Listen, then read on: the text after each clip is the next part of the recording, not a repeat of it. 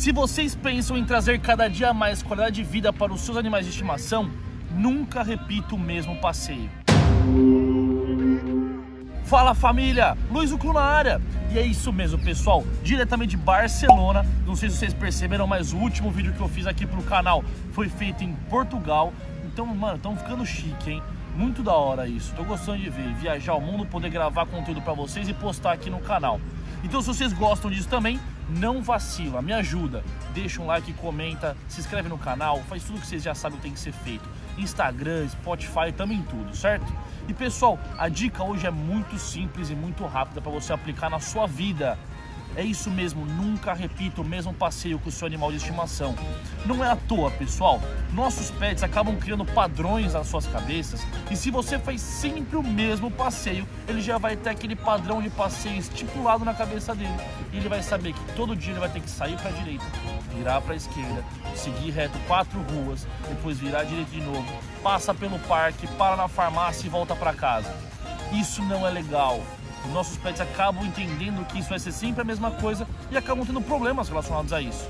Querem nos puxar para poder chegar mais rápido até o parque, querem brigar com os cães que eles sempre encontram nos portões, querem fazer sempre muita desordem, porque eles já sabem qual que vai ser o trajeto que eles vão seguir. E já sabendo qual é o caminho que eles vão ter que fazer, eles procuram coisas mais divertidas para serem feitas.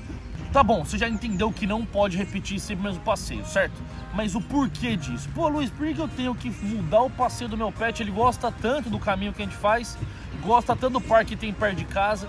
O problema não é o caminho que ele faz em si e nem o parque que tem na sua casa, mas você tem que mudar sim a trajetória que você faz para chegar até esses locais muito importantes para a vida deles, para que eles não caiam no ócio, para que eles não caiam na mesmice. A mesma coisa sempre, todo dia, nunca vai ser legal. Não é legal para nós, porque vai ser legal para eles, não é mesmo? E é por isso que a gente tem que sempre pensar em mudar esse caminho. E é muito simples, você não precisa se desesperar por causa disso.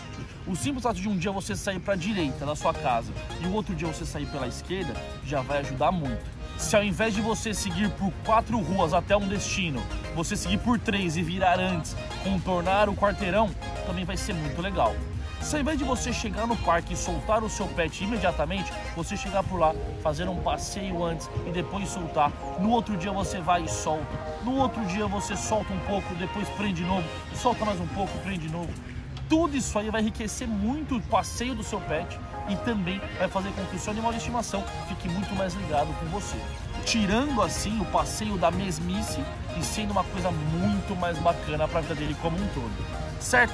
Pessoal, não é difícil colocar essa dica em prática e é um ponto muito importante para a boa educação dos nossos pets como um todo. Certo, pessoal?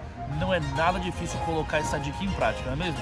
E é simples você também se inscrever aqui no canal, acionar o sino de notificações, também seguir a gente pelo Instagram, pelo IGTV, pelo Spotify, curtir esse vídeo, comentar, compartilhar com seus amigos também. Nada disso é difícil. Igual essa dica do vídeo aqui, certo? E vejo vocês no próximo vídeo aqui do canal, certo? Até a próxima. Tchau, tchau.